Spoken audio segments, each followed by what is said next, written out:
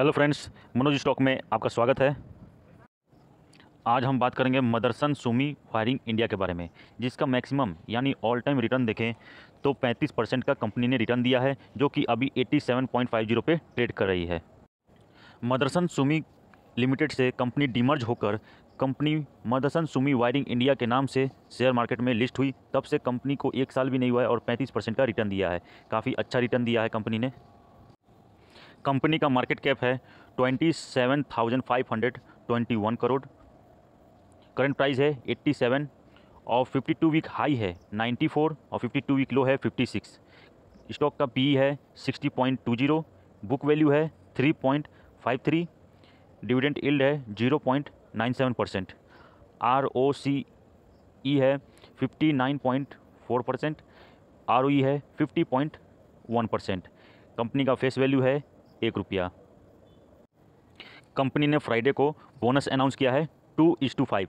यानी अगर आपके पास पाँच शेयर है तो आपको दो शेयर एक्स्ट्रा बोनस में मिलेंगे। यानी अगर आपके पास सात शेयर भी है, तभी भी आपको दो ही मिलेंगे। यानी पाँच है तो दो, और अगर दस शेयर है तो चार शेयर मिलेंगे। कंपनी का भी बोनस का रिकॉर्ड डेट अभी सामने नहीं आया है।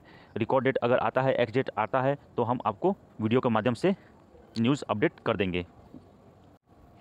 लिस्ट में देख सकते हैं, कंपनी अपने सेगमेंट में, कंपनी वायरिंग इंडिया जो है, फोर्थ स्थान पे चल रही है, जो कि नंबर वन पे है, संवर्धना मदरसन सुमी। दोनों कंपनी एक ही है। लेकिन मदरसन सुमी वायरिंग इंडिया जो है, यह ऑटो सेक्टर में वायरिंग का काम देखती है। यानी जो भी फोर व्हीलर है, उसके अंदर में वायरिंग का काम जितना भी होता है, वो मदरसन सुमी वायरिंग इंडिया काम करती है। कंपनी का रेवेन्यू जो है जून में 2022 में 1671 करोड़ है, जो कि प्रॉफ, कंपनी का 126 करोड़ है, जून 2022 में। कंपनी का प्रॉफिट जो है, वो काफ़ी हद तक ठीक ठाक है।